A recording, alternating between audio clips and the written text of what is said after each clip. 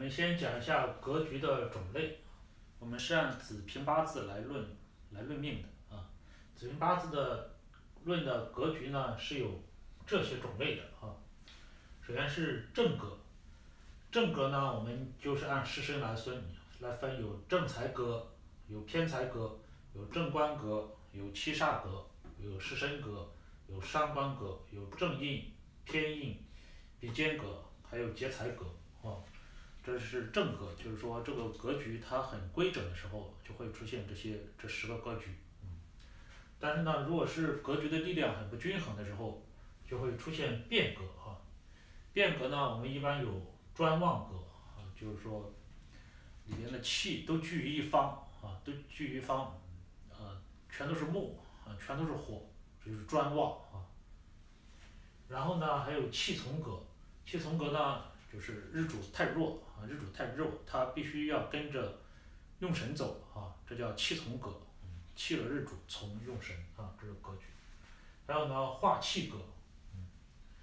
化气格，呃，我们到后面的时候会专门讲哈。还有一种变格叫化气格，还有一些其他的非正格呢，就是化气格。啊，我们也会听到很多的杂格啊，杂格并不是子平八字里边的。偏重重要的核心，甚至很多都不会提到这杂格，但是有些也会讲到有魁罡格啊、三天格、金神格、双德啦啊，一般它是与它的啊星啊星去来论的，嗯，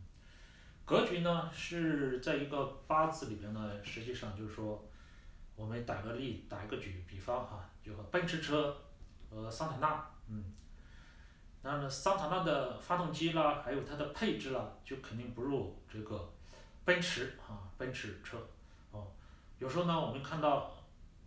有一个路哈，可能呢开桑塔纳你去呢反而更快啊，就是说更方便，因为它绕来绕去啊，就是钻小道什么的，桑塔纳更灵活一些啊。但是如果是比如说你从北京开到上海，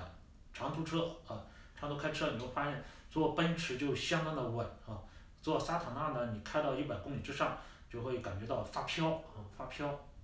所以呢，这个整个车的这个背，整个车的这个配置啦，还有呢，它的发动机啦、轮胎啦各种的配置呢，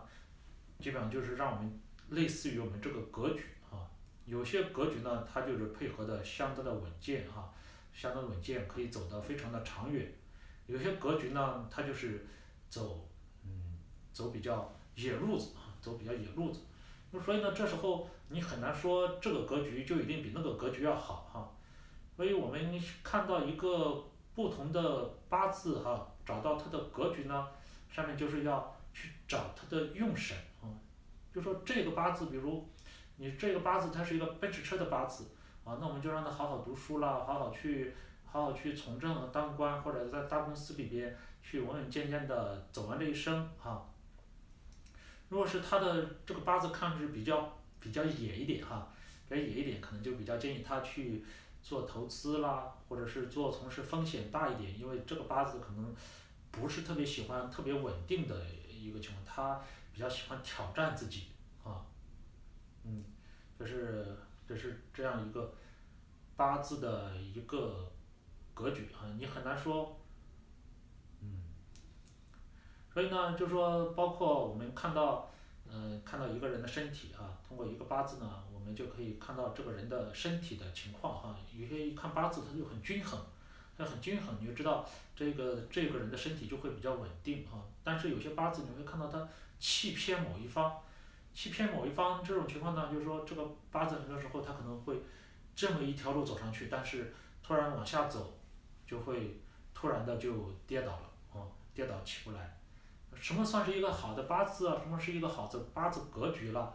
我想不同的人的理解不一样，有的人就喜欢，呃，大富大贵啊，有些人呢就，呃，他衣食无忧什么都不干呢，他们觉得就很好啊。像，呃，有些像我们年轻的时候都是觉得这一生有事情不停的拼搏，不停的成就，这才是好的格局。我们一般认为这个八字能够平平稳稳的啊，平稳的走完这一生，这一般就是一个比较稳定的八字的格局啊。今天到这里。